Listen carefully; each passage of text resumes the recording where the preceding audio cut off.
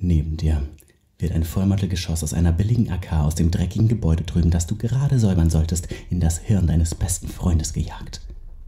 Und bevor du seinen Schädel überhaupt greifen kannst, der jetzt kaum mehr ist als die Umrahmung eines Lochs, ist dir klar, dass deine gesamte Geschichte mit ihm ab jetzt nur noch dazu dient wird, deine Nächte heimzusuchen.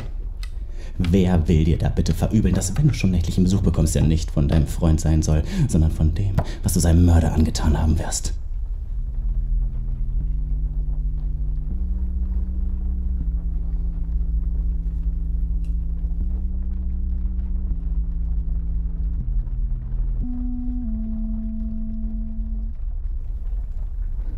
Sieh dich an.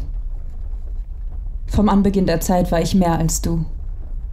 Und am Ende der Zeit bist du die schleimige Nachgeburt einer Beleidigung. Ein Wesen, das nur eine Mutter lieben kann. Komm in meine Arme.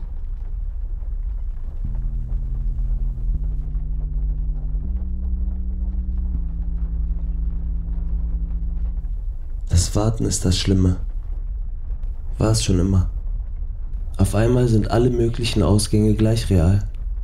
Nicht nur einem muss ich mich stellen, allen auf einmal. Welcher Verstand verkraftet das denn schon? Es ist am Ende nie so schlimm, wie ich es mir ausmale, aber das Warten, das Warten ist das Schlimme.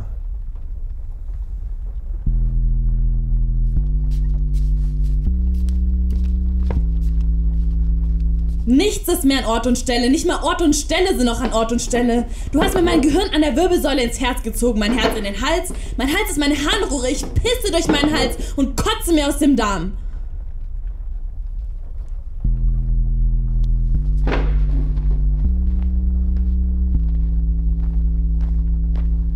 Was meinst du, wie es aussehen wird, wenn die Sonne aufgeht? Oder wieder durchkommt? Durchbricht durch die Wolke aus Ruß, Staub und was auch immer sonst noch in der Luft liegen wird. Meinst du, es bleiben überhaupt noch Ruinen übrig? Oder nur Sand, Kiesel, Steinchen, Steine, Felsen, Berge, Gebirge? Die letzten lebenden Familien.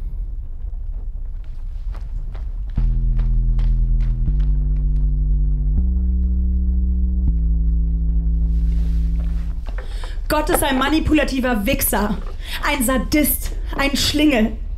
Lässt er mich für den Größteil meines Lebens im Dreck riechen, nur um mich dann umzubringen? Witziger Kerl. Ein Sarkast, ein Zynist. Ich wusste, Gott und ich sind gleich. Geschaffen nach seinem Ebenbild. Darum ist Gott nämlich keine Frau. Mutterliebe gibt's nämlich. Geliebt fühle ich mich gerade nicht.